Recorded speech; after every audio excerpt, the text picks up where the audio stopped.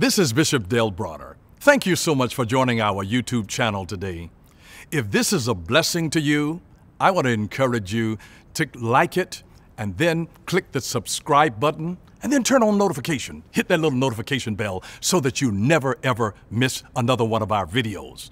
And then if you're in the metro Atlanta area on a Sunday, check out one of our exhilarating services at 8:30 a.m., 11 a.m., or 6 o'clock p.m. Just a moment. Father, in that powerful, majestic, worthy, and deserving name of Jesus, we come to you today, God, not, not in form and fashion, but to really pray out of the concerns of our own heart. God, we pray in the name of Jesus that you will change us individually as your servants, as your children. Change us. Do something in us before you attempt to do something through us, God. Change us. Father, we pray in the name of Jesus that thy kingdom come, thy will be done on earth as it is in heaven. We pray in the name of Jesus that you will send a revival of miracles. Shekrababoskatas.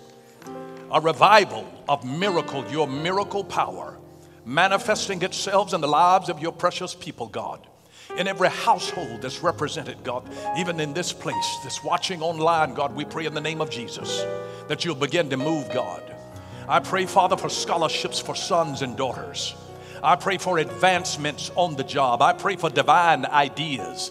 I pray for a revival of miracles, of healings, of bodies, of bones, of heart conditions, of uh, liver conditions, God, of pancreatic conditions, of diabetes in the name of Jesus. Father, I pray that you'll send a revival of miracles, miracles over mental disorders, bipolar disorders, God.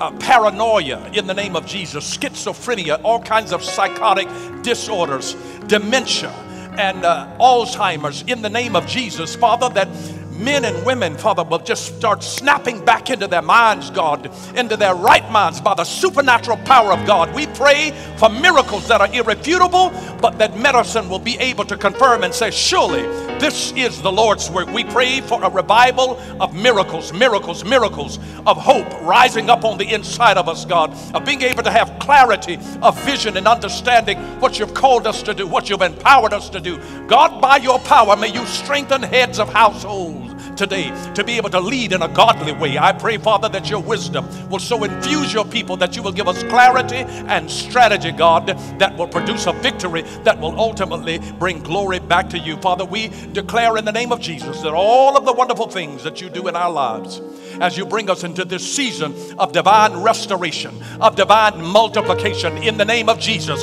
that you will bring also strategic divine connections, God, in the name of Jesus in this year we speak it and declare it that your power, God, as a revival of miracles will rise up in the name of Jesus.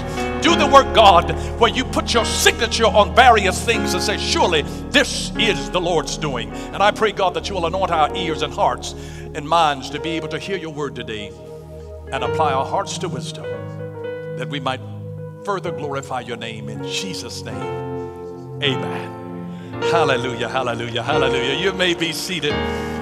So good to see you today. So good to have you tuning in today. We thank God that no matter what's happening in our society, no matter what's happening with our weather, that Jesus is still Lord.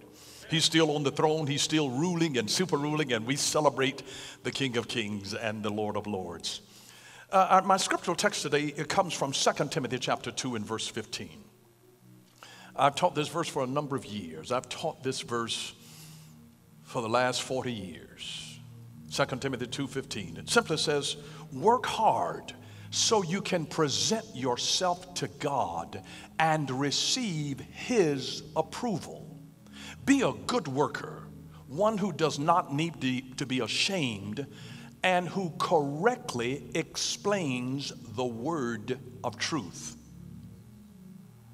And I'm speaking here from the subject learn to earn. Learn to earn. Now, I, I memorized this verse as a young teenager uh, years ago in the King James Version, which we call the poetic version. Uh, the King James Version, it puts it this way Study to show thyself approved unto God. Study to show thyself approved unto God, a workman that needeth not to be ashamed, rightly dividing the word of truth. Study to learn. Study to learn, learn to earn. Study to, to learn. The only reason that we study things is so we can learn it, so that we get it. Study to learn. We learn to earn. If your learning doesn't produce earning, then we've missed something. Uh, the Bible says that a man ought to study his wife so that he might dwell with her according to knowledge. In other words, you gotta, you gotta study homegirl in order to know homegirl so you can deal with her peacefully. You gotta understand how she's wired, how she thinks. Study her. She's your study project. Study uh, to, to learn her once you learn her, then now you can earn a certain respect that comes. Study to learn, learn to earn, learn to earn, learn to earn. It says, study to show yourself a, a workman unto God.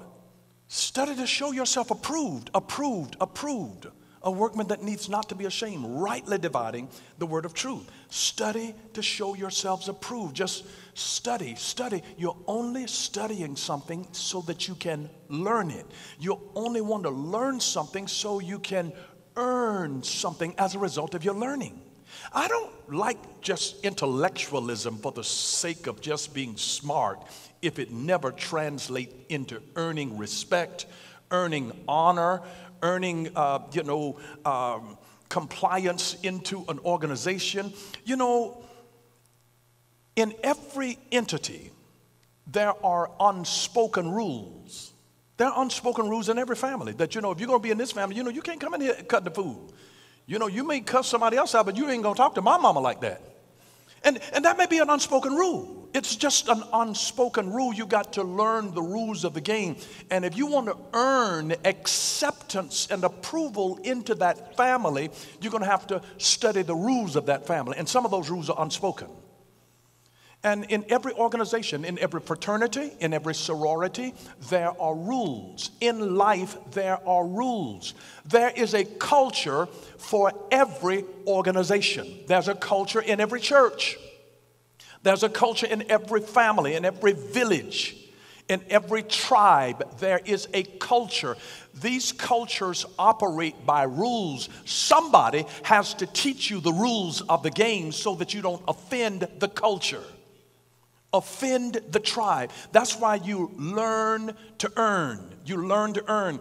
Back in, in, in the day, they would take young men through this program of, of uh, rituals and intense kinds of experiences, which was their journey into masculinity and manhood.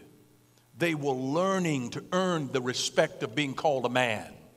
It wasn't just a given. You had to study, you had to learn something in order to earn the respect to say, now this is a delineation between boyhood and manhood that was a process.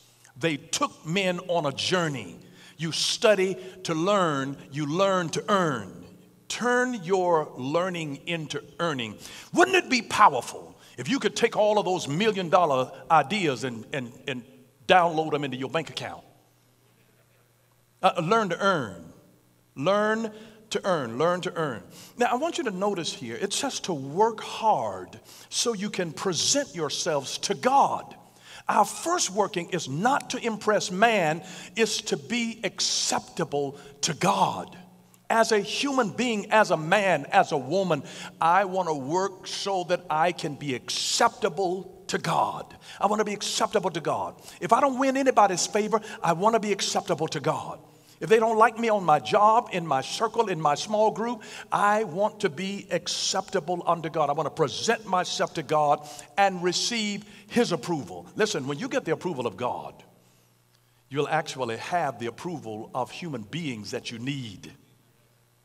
When you get the approval of God, you'll automatically have the approval of the human beings that you need.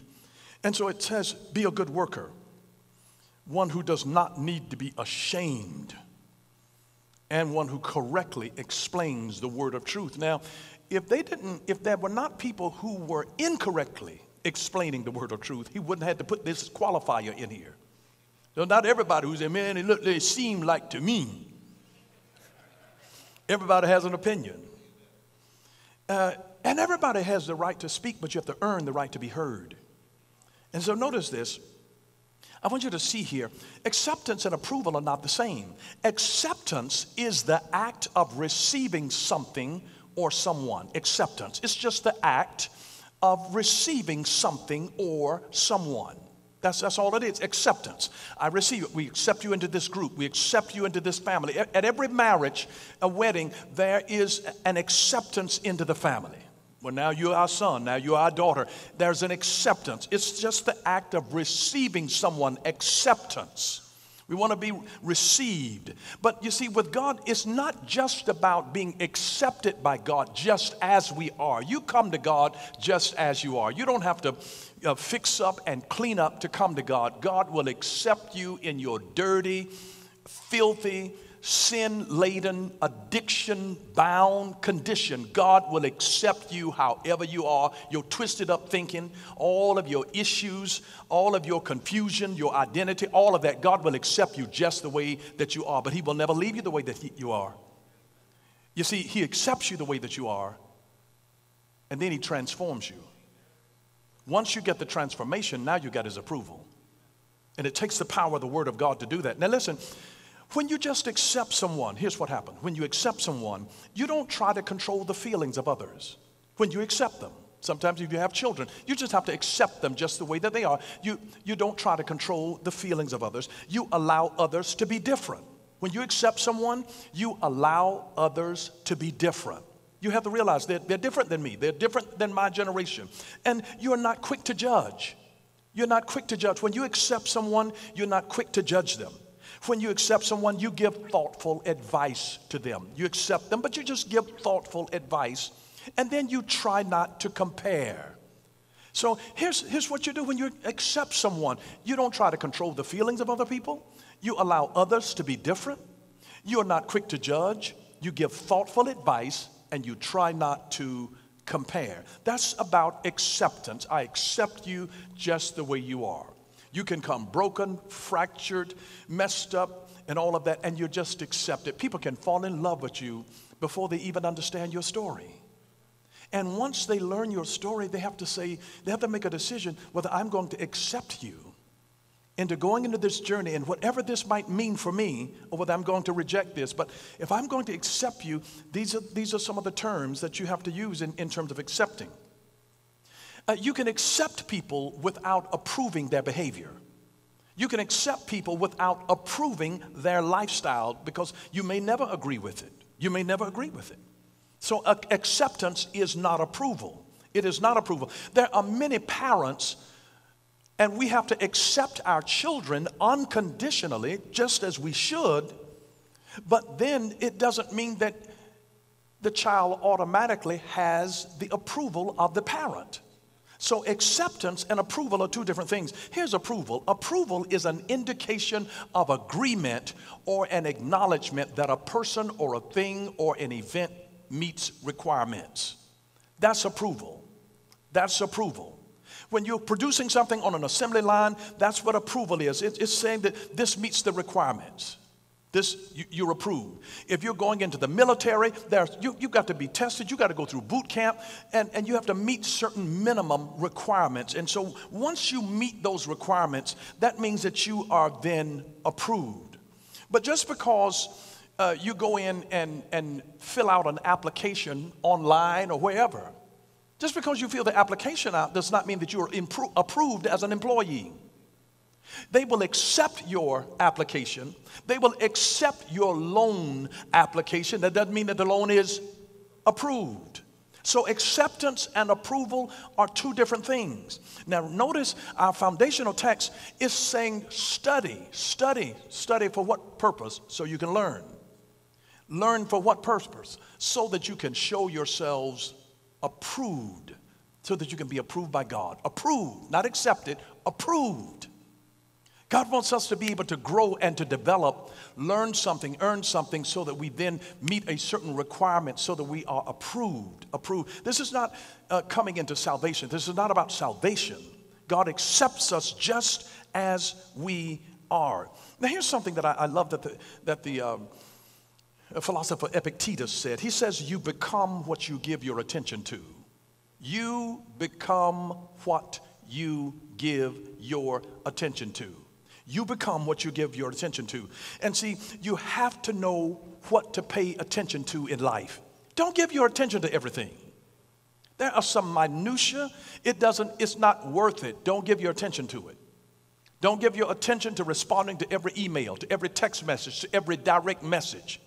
Just because somebody likes something and put a comment, you don't have to respond to everything. Some people get in trouble because you start responding to crazy stuff that comes out of people's mouths. You can't control what other people say, think, nor do, but you can control your response to it. So you become what you give your attention to. Don't give your attention to things that don't help you grow. Don't give your attention to things that don't in some way make you better. I mean, uh, if I'm going to give my attention, it means at least make me laugh. At least I want to have a good time.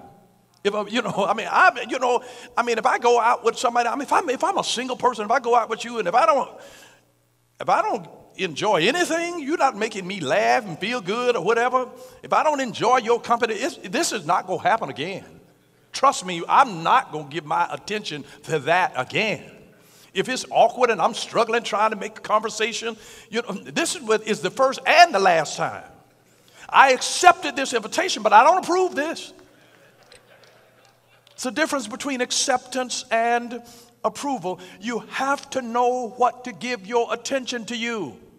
You cannot pay attention to every barking dog. I used to deliver newspaper. I was on a job, you know, that was my job. I had to get my newspapers into those mailboxes in order to be able to go back and collect my money. And, and I dealt with barking dogs. I'm not that. If I let a, a barking dog stop me from delivering my newspaper, I can't collect my money. So I'm going to give my attention to getting my newspaper in the mailbox, not the dog. I never let a barking dog stop me from delivering my paper. You know, and I mean, I, I, I kept some rocks with me. I kept some stuff, you know. If I had to feel like I had to knock a dog's brains out, of like, you want to try me again, you know? Because I, when I first started out delivering newspapers, I was walking. Then I upgraded to a bicycle. Then I upgraded to a motorcycle. And I'm like, catch me if you can. Catch me if you can. And I, I just had a, you know, I, I had a blast just being able to allow them to chase me on my motorcycle. It was the thrill of my morning before I went to school. But I, I, I, had, I had, a job to do, and I wasn't going to let the barking dogs distract me. Uh, not everybody's criticism. You can't let that listen to it to let it derail you from where you're going because remember, you become what you give your attention to. Now, let me just say this. Uh, I love something that Herbert Simon said. He said, A wealth of information creates a poverty of attention. A wealth of information creates a poverty of attention. You would assume that because of all of the incredible information that we have available to us on the internet, it has given us a wealth of information, but a poverty of attention. A wealth of information creates a poverty of attention. That's why, if you're going to be good in something, you can't give your attention to everything. You got to specialize in what you are called to do, what is pertinent to your assignment, and become a specialist in that and drill deep in that and not just master everything. Uh, Isaac Asimov said that the saddest aspect of life right now is that science gathers knowledge faster than society gathers wisdom. That's our problem. We're talking about learning to earn. The saddest aspect of life right now is that science gathers knowledge faster than society gathers wisdom. Wisdom is the ability to know what to do with knowledge. Wisdom is the application of the knowledge. And some people just can't do that because they have what's called an infected mind.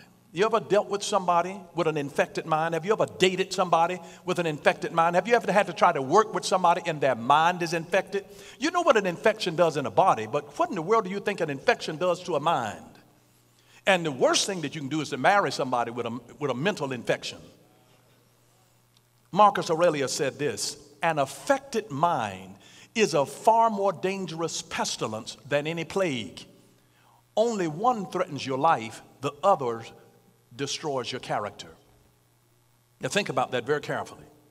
This is talking about an infected mind. You have to be able to recognize people who have mental infection and, and avoid them like the plague because one, you know, natural plagues affect the body. They, they can threaten your life, but the other one destroys your character. A mental infection destroys your character. And I just want you to realize that as we walk with God, God leads us on a journey.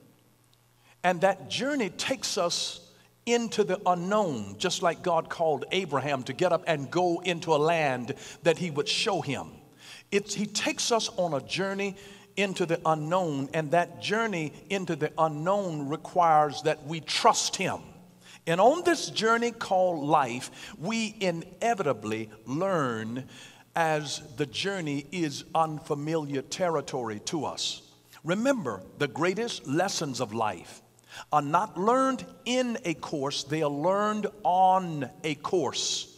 And that's why God will take you into new experiences that you've never dealt with before, new situations for which you don't have a manual that you can open up to say, What am I supposed to do here? You learn to earn the thinking capacity. Study so you can learn how to think, not what to think, how to think. Real education doesn't teach you what to think, it teaches you how to think. Because on the journey, you're going to find a lot of unexpected situations and a lot of unknown situations, but it's okay as long as I can think through it and pray through it. If you have good praying ability and good thinking ability, you're going to be all right in any type of crisis. If you can pray right and think right, you're thinking as a man thinketh in his heart, so is he, if my thinking is clear, my identity is clear, my understanding is clear, my vision is clear, my mission is clear, my values are clear, if I can think through it, think through it, think through it. And so God will lead you on a journey to teach you some things that's not in the book. There are some lessons and tests that you learn on the journey, and those things teach us the most. I love something, you want to get a screenshot of this that Hal Elrod said. He said, Your level of success will rarely exceed your level of personal development because success is something you attract by the person you become. That's heavy. Your level of success will rarely exceed your level of personal development. That's why you ought to study to learn, study to learn, study to show yourselves approved for your personal development because success is something that you attract by the person that you become. If you're impoverished in your thinking, you'll still attract small thoughts to you, small opportunities to you, because you won't be able to get the big ones.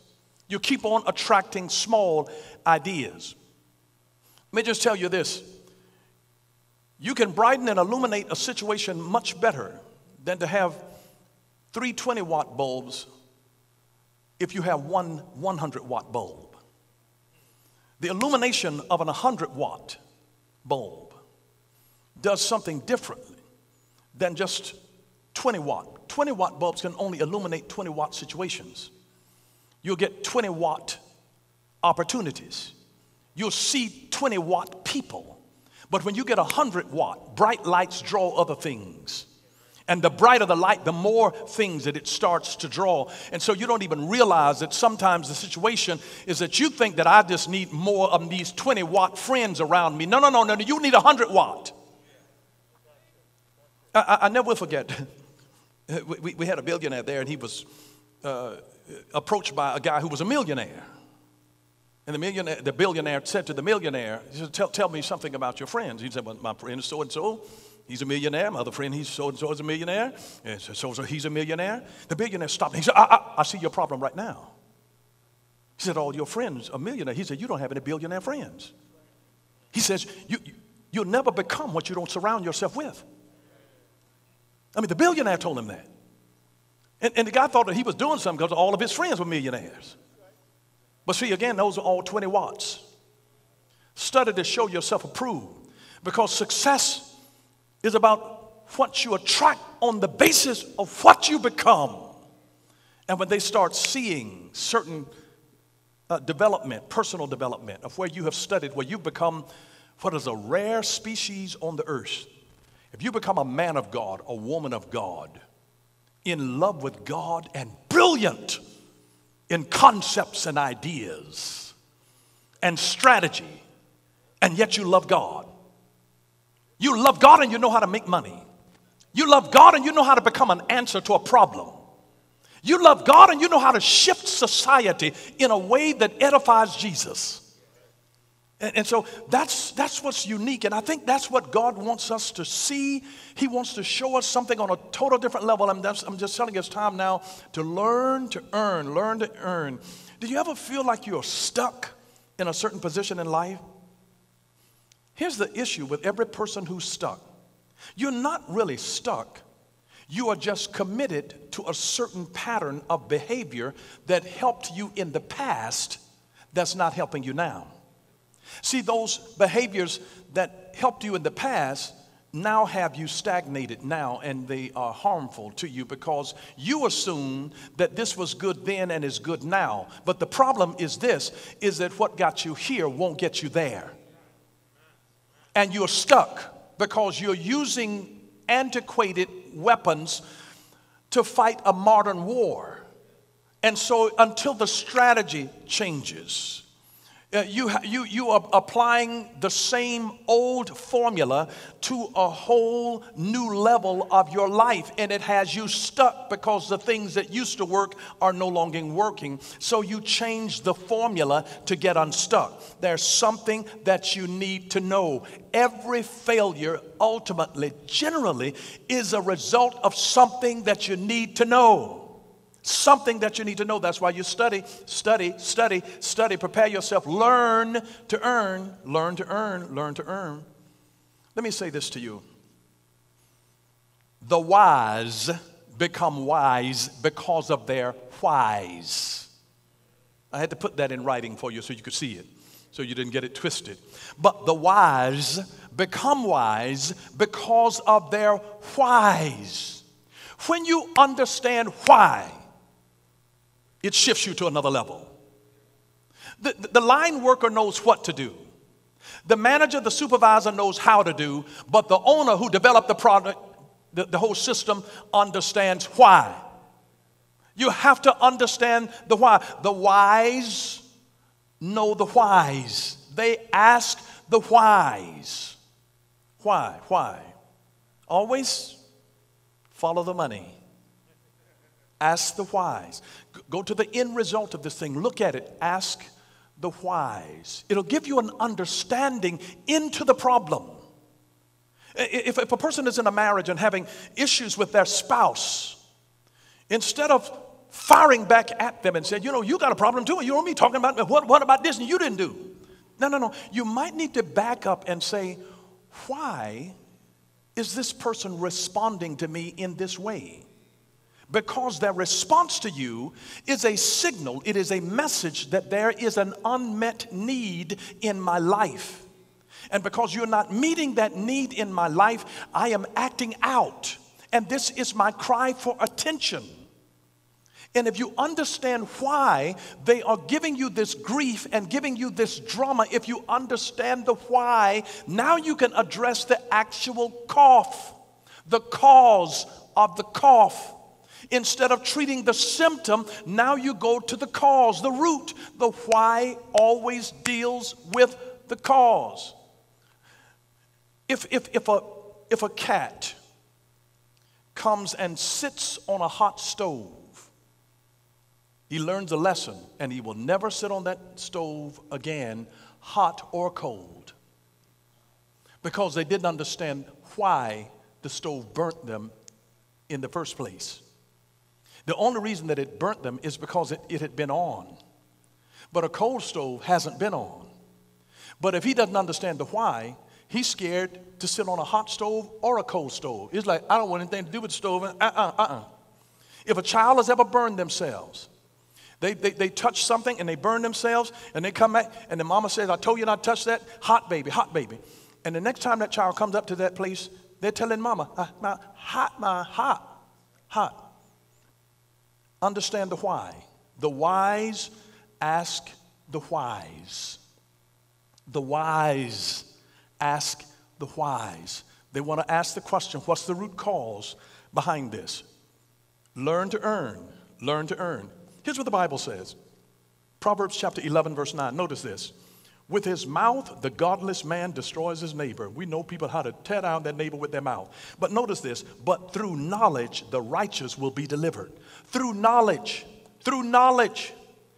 Through knowledge, the righteous will be delivered. It's not through the anointing of the Holy Ghost coming upon you, speaking in tongues, dancing, shouting, getting your praise on. Through knowledge, the righteous will be delivered. Through knowledge, the only reason that some people don't tap into certain grants and things that are available to them is because they don't know it's available. They don't tap into certain markets and certain opportunities because they don't know it's available. The prophet Hosea said, My God spoke prophetically and said, My people are destroyed for the lack of ideas, destroyed for the lack of knowledge, for the lack of knowledge. My people are destroyed for a lack of knowledge. Wonder why he's telling us study, study, study to show yourself. Learn so you can earn.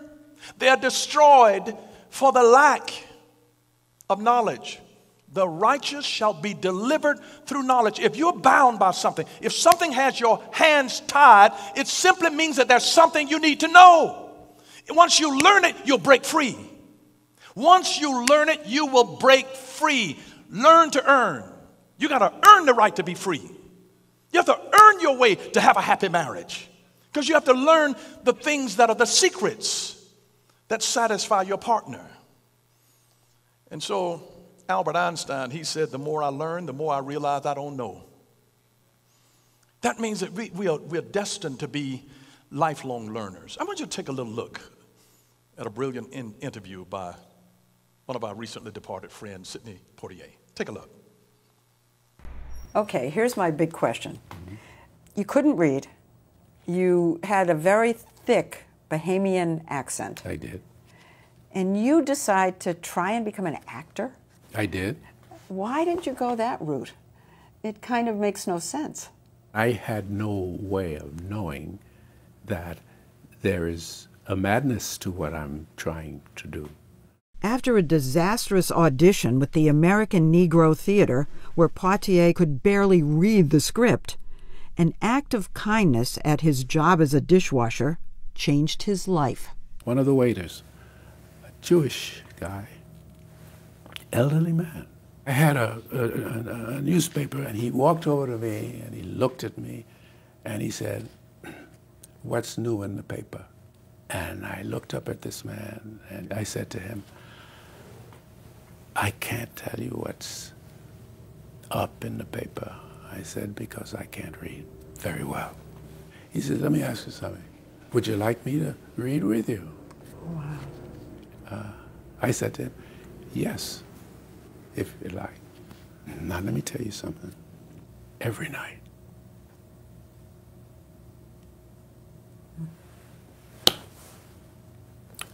every night, the place is closed,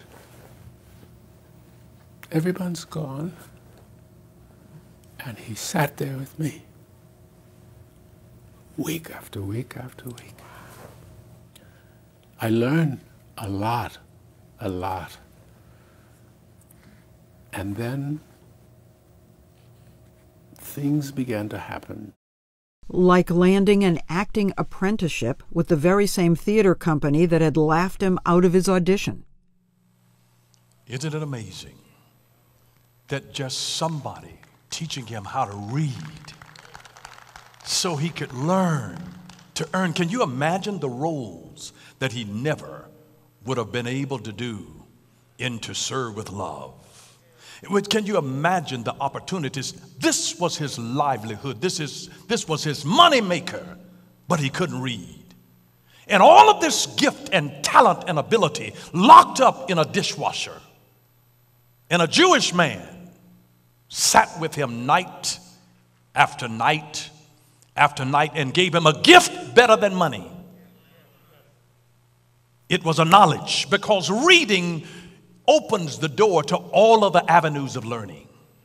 Reading opens the door to all of the avenues of learning, but one of the strongest drives in the world is called hunger. You gotta be hungry. You've got to be hungry. Had he not been hungry, after his shift ended, he would have said, I'm tired, I'm sleepy, I'm ready to go home. But he was hungry. He was hungry for something beyond what a dishwasher's salary could pay the wages of working as a dishwasher. He was hungry for more. Something on the inside of him knew that he was built for more. And he had a hunger to learn something that would change his earning capacity. Proverbs chapter 18, verse 15, notice what the word of the Lord says. Intelligent people are always ready to learn, their ears are open for knowledge. Now, notice this intelligent people are always ready to learn their ears are open for knowledge.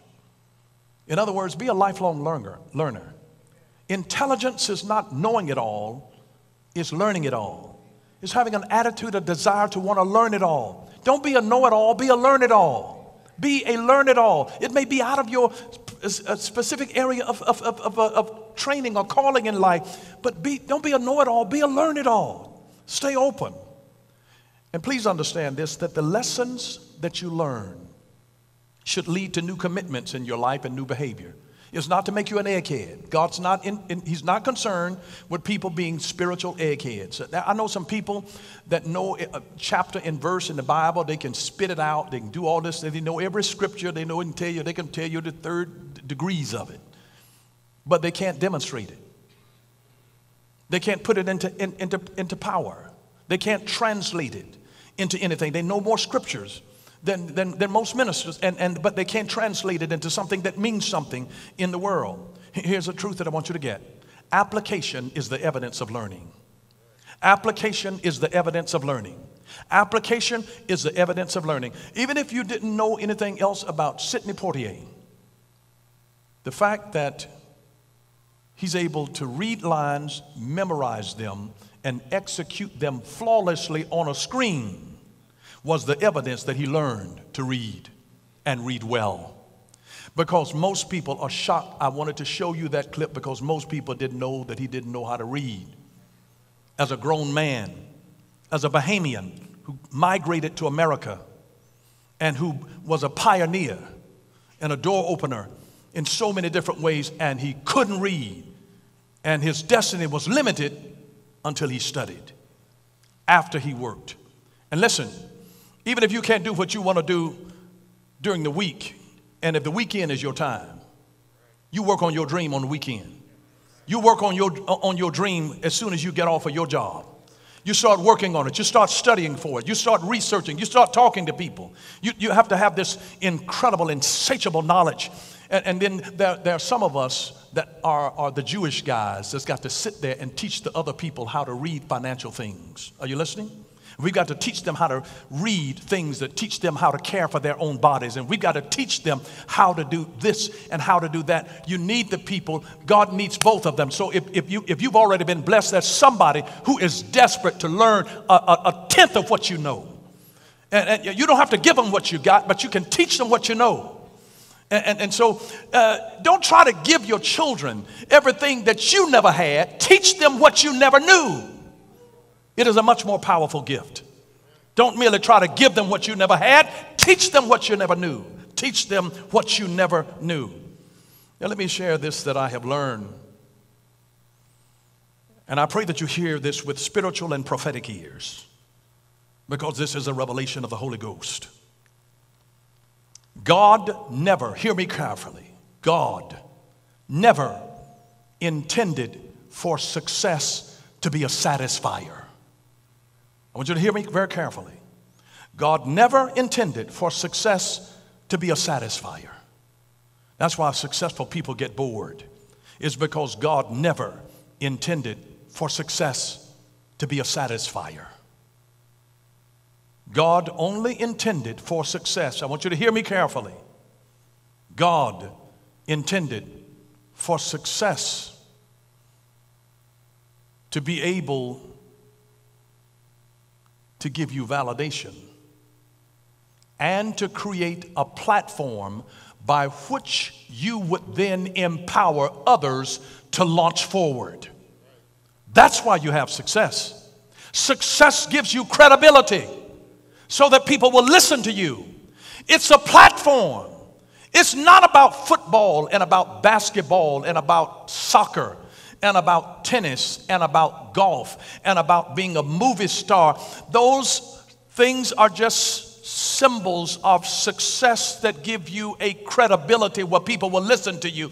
It builds a platform. Now, once you've got the, the platform, success is to give you a platform of credibility so people will listen to you, but it is designed so that as that platform is built, now you can do the kingdom work that God really designed for you to do, that you begin to impact the lives of others by building this thing and empowering them to launch forward, to reach forward, to hunger for more. You begin to show them how to do this thing. That once you've got everything that you need, your platform now is built, and now it is time for you to start empowering other people to say, listen, this is how you play this game. Come and sit with me, and I'll teach you some things. I'm going to teach you how to read the, the script in this life so that you'll be able to win because there are some things that you're going to need to know, and not everybody's going to tell you, and you're going to have to research it, and you're going to have to be able to read this by yourself. And I can't teach you everything that you need to know, but I can teach you how to read. And once you learn how to read, you'll start getting empowered. I'm telling you, you use your platform of success. Success is not designed to be a satisfier, it's designed to help you to build your platform so that once your platform is built,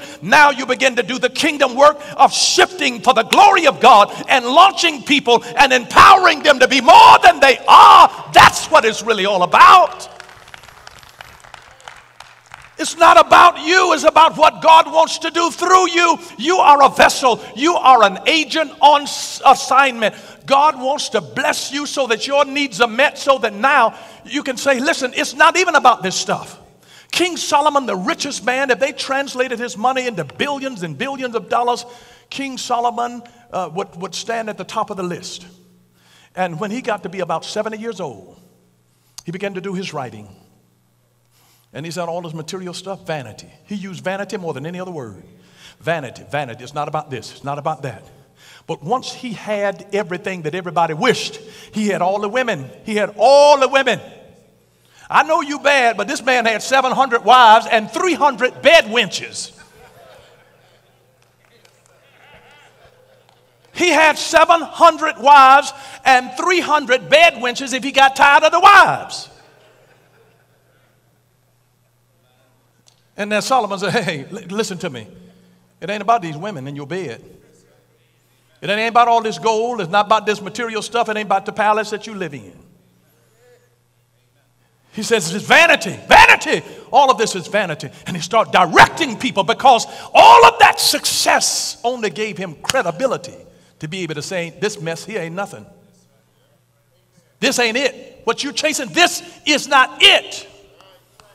Now he uses his platform of saying, Here's the real meaning of life do good, love mercy.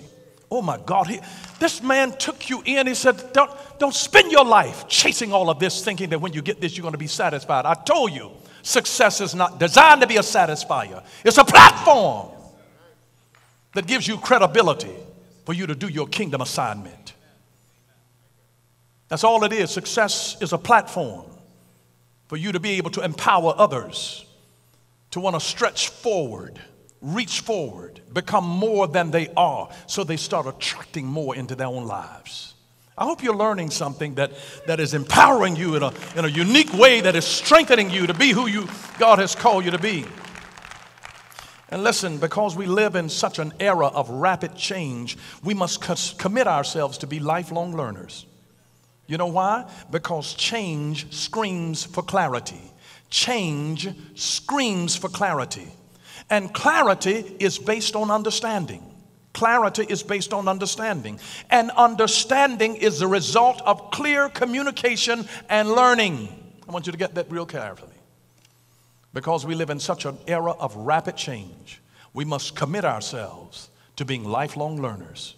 Because change screams for clarity. Clarity is based on understanding, and understanding is the result of clear communication and learning. Our principles give us the clarity of the what. Principles give you the clarity of the what. Purpose gives you clarity of the why. and understanding of your God given identity helps us to clarify the who. When you understand your God given identity, you understand who you are. You understand your purpose. You understand what you, you know, why. You understand the why. The whys understand the why. And the principles help you to understand the what. And let me just say this to you every man who doesn't know why he exists, every woman who doesn't know why she exists, if you don't understand your why, please hear me by the Spirit, you will distract yourself with pleasure.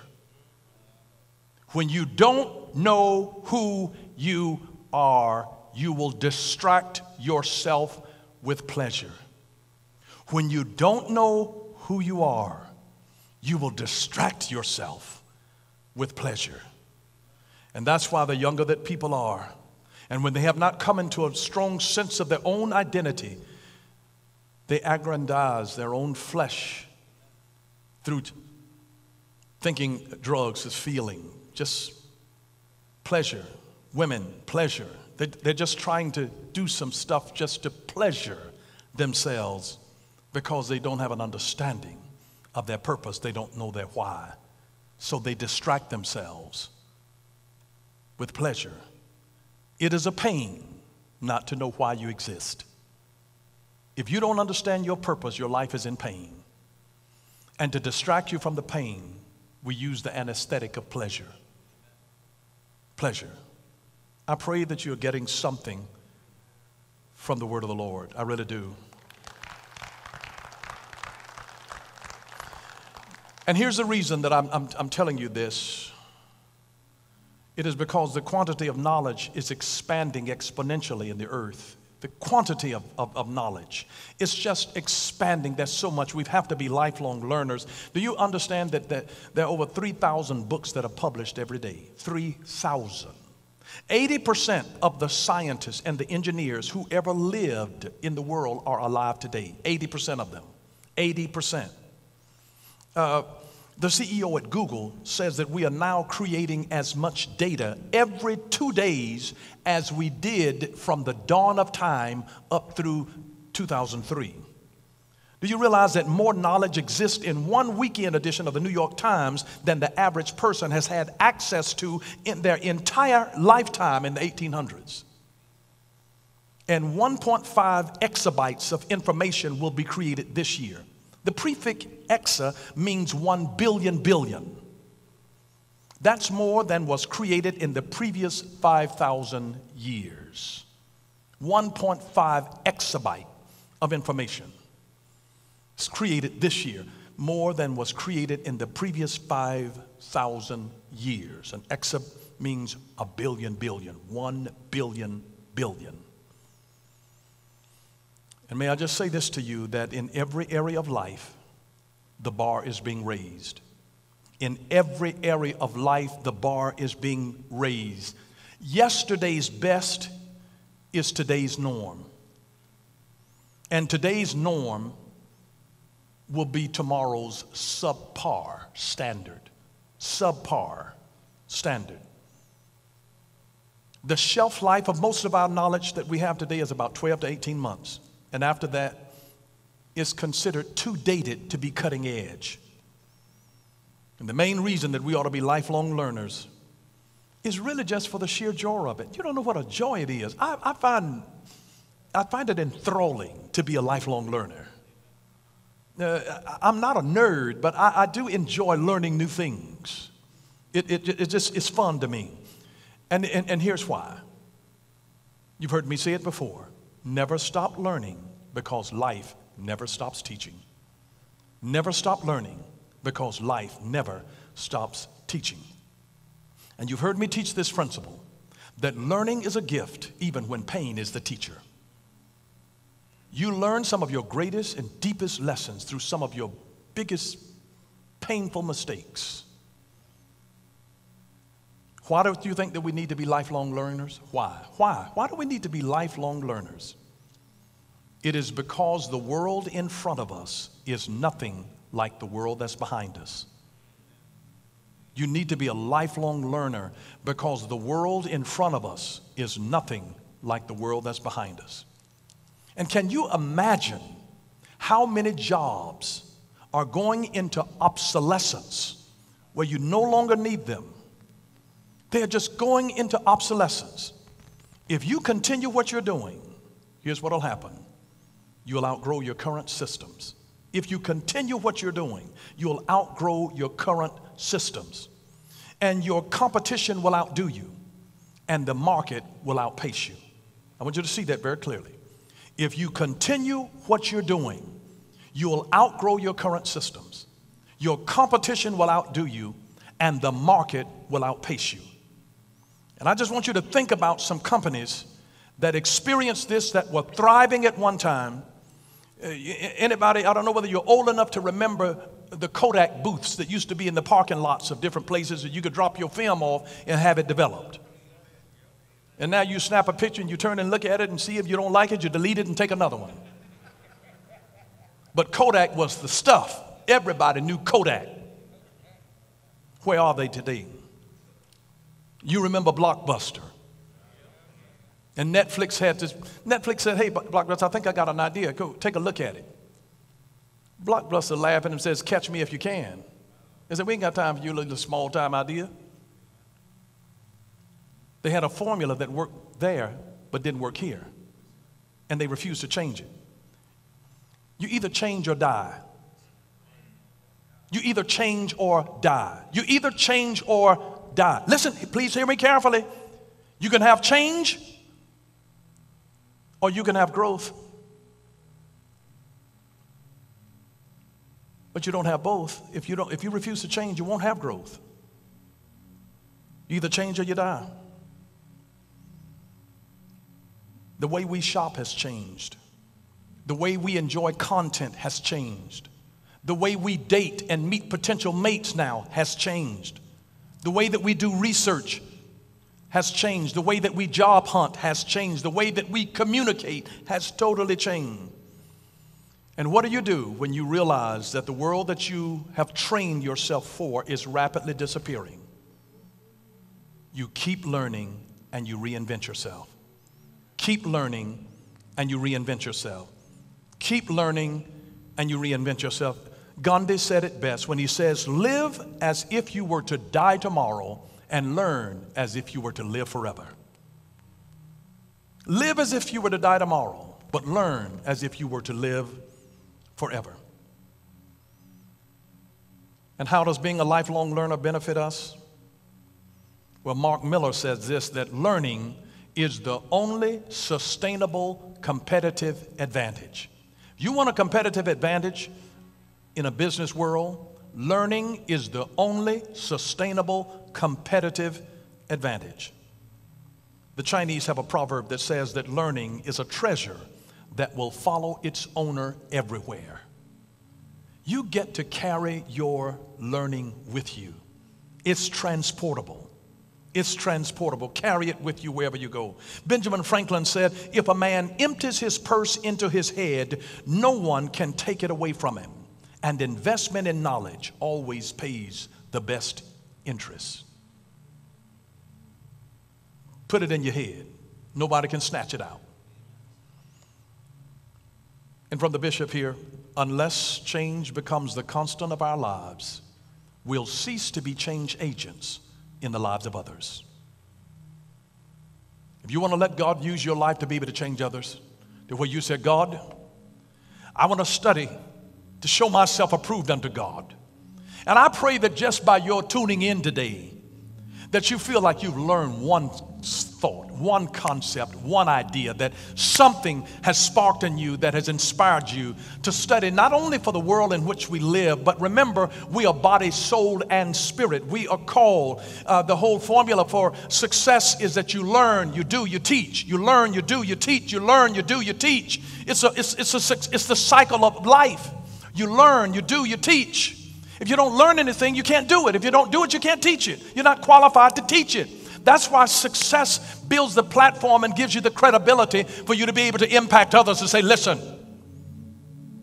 there are people today that if I had Mark Zuckerberg here or Elon Musk here, If I had, uh, it was Amazon's founder, what's, what's his name? Uh, Jeff Bezos. If they were here, and I don't know, I have no knowledge that they, any of them has accepted Jesus Christ as their Lord and Savior. But do you know if they said that they were coming, if I had them on a panel here at Word of Faith to share success principles, people would be running over the, over the, they, they, they'd come here for it. They'd pay thousands of dollars just to have a seat, to just try to learn something of what they know. And they don't even claim to know Jesus. And what if God could somehow bless your life in such a magnificent way that one of them would want to come and say, You have all of this, and there's a peace in your heart, and you've got a joy, and your marriage is intact. You've got something that I need. You will be surprised how God will want to do something in your life. And I, it's one of the deep, sad things to me is to find people who carry something and they don't even realize what they have. And they downplay it. And when you don't realize what you have, you can't use it. There was an old homeless man in Chicago. It was a bitter cold time, and he's rummaging around in, the, in a dumpster, and, and, and, he finds in it an old belt, and he had on some big old oversized pants, and he, he takes this belt out of the dumpster and puts it around his waist to hold up his big oversized baggy pants.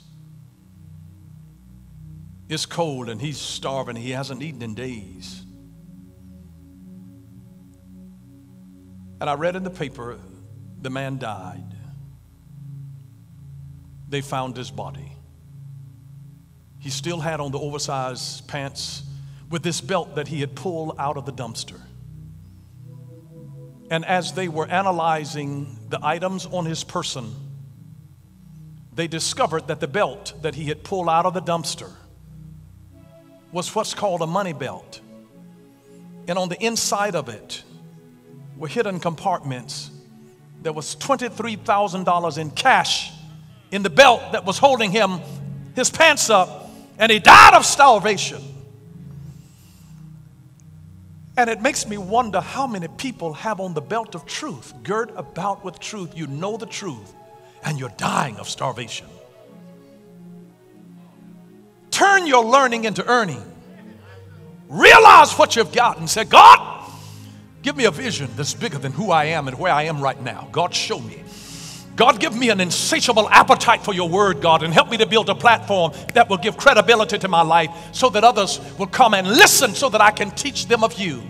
And may I be able to use this, God, as an influence to be able to point people to Jesus Christ to say, This is not by might nor by power, but God, this is what you did.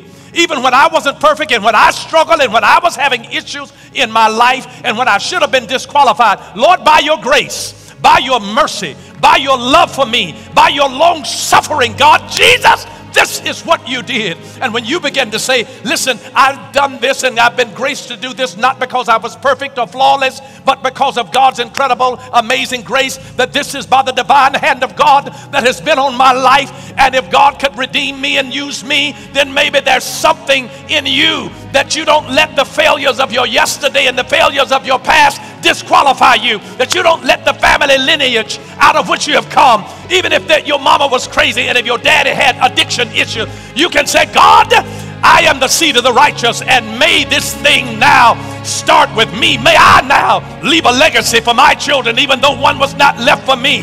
My God, God is looking for people that are not mealy mouthing and complaining about what you didn't get. May you become the giver of the very thing that you didn't get yourself.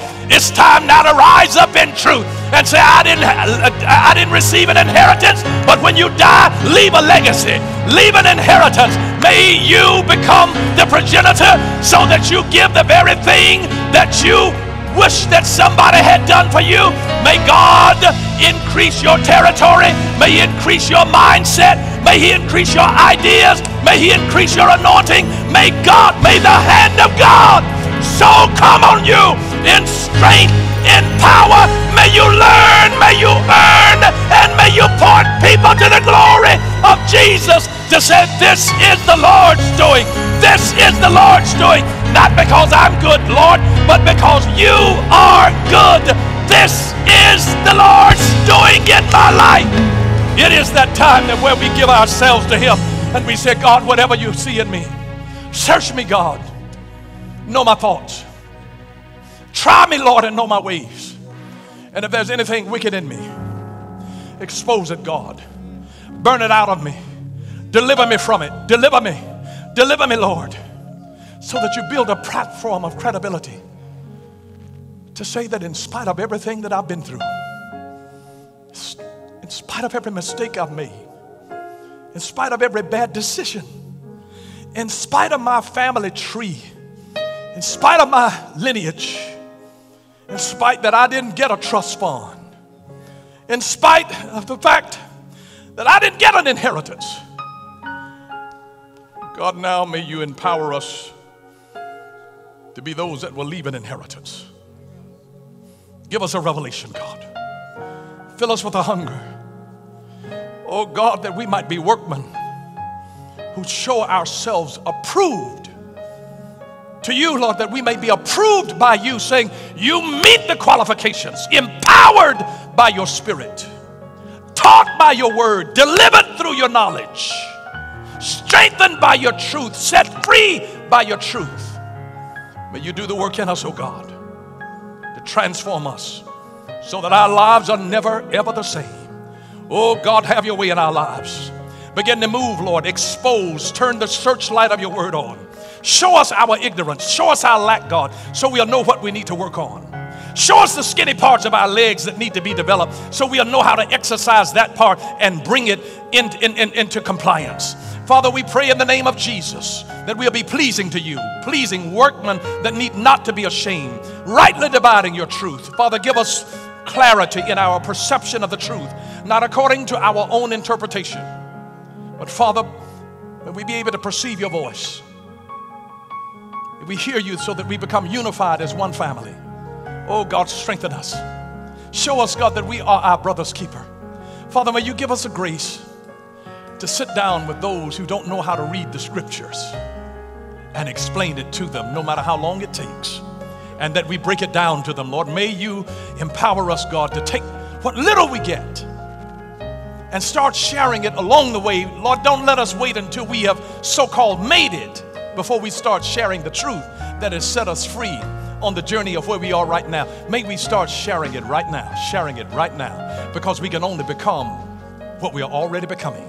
And Father, I pray that you empower every man, every woman, every household to become a representative of you, to become a work person who will work to show themselves approved so that we meet your approval.